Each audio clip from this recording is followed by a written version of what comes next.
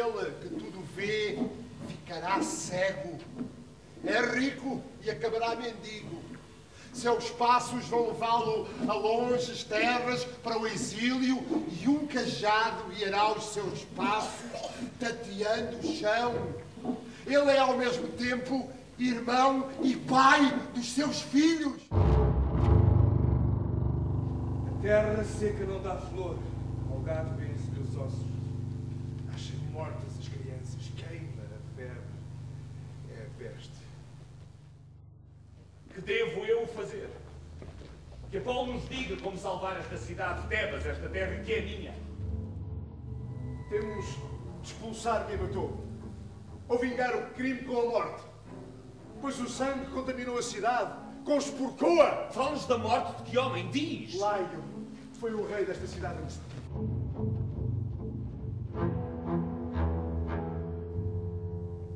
farei para descobrir quem foi que matou o rei Laio.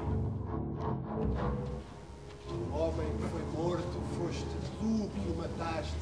Como se explica então que esse sábio, esse Tiresias, nada tivesse dito nessa altura do que hoje diz? Não sei. E quando não sei, calma. Mas se és por mim, dirás. Direi o quê? Se esse homem não estivesse contigo conluiado, nunca diria que o rei Laio fui eu que o matei. Se eu o disse, tu o saberás. Rejeitar um amigo é desprezar a própria vida. O tempo fará com que tudo isso claramente vejas. Tu não sabes ver quem tens à tua frente. Mas vós, homens de Tebas, bem sabeis quem sou. Sabemos todos que o rei Laio morreu assassinado por salteadores na encruzilhada dos Três Caminhos. O filho que nós tivemos muitos anos antes foi o rei Laio que lhe amarrou os pés e ordenou que mãos estranhas o abandonassem no monte distante.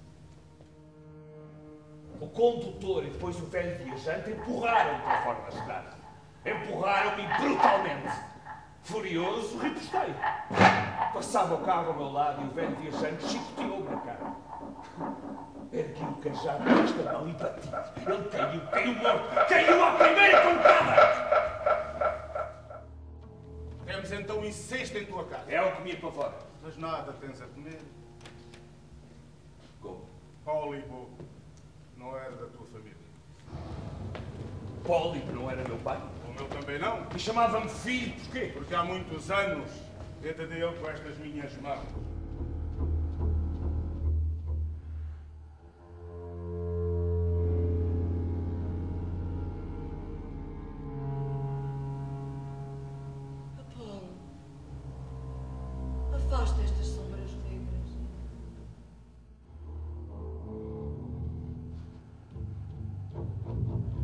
Velho viajante era o rei Laio,